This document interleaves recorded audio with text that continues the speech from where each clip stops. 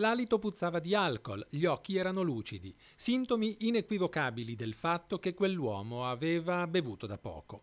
Il guaio è che non si trattava di un automobilista normale, cosa già grave di per sé per il pericolo che si arreca a se stessi e agli utenti della strada se ci si pone al volante in condizioni non lucide, bensì del conducente di uno scuolabus, sanzionato per guida in stato di ebbrezza mentre svolgeva il servizio pubblico di trasporto studenti e di conseguenza sotto sottoposto al ritiro della patente di guida.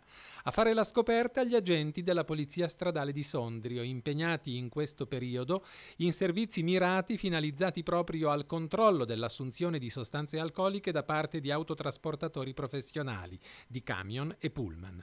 Nei confronti di chi guida per mestiere infatti vige il divieto assoluto di circolare dopo aver bevuto.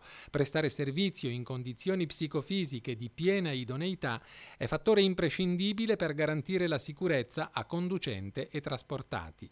A bordo dello scuolabus di proprietà di un comune della media Valtellina c'erano al momento del controllo numerosi studenti. L'autista dipendente dell'amministrazione ha manifestato subito i sintomi tipici della guida in stato di ebbrezza. L'alcol test ha rivelato che aveva un tasso etilico di 0,75 grammi per litro, violazione che ha comportato la sanzione amministrativa di 725 euro e la decurtazione di 10 punti punti della patente, di cui è stato disposto l'immediato ritiro per la successiva sospensione tra i 4 e gli 8 mesi.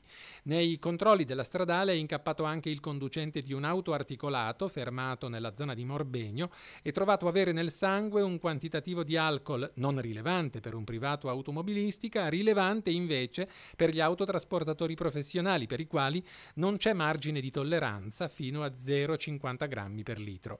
Per questo nei suoi confronti è scattata la multa di 168 euro e la decurtazione di 5 punti della patente.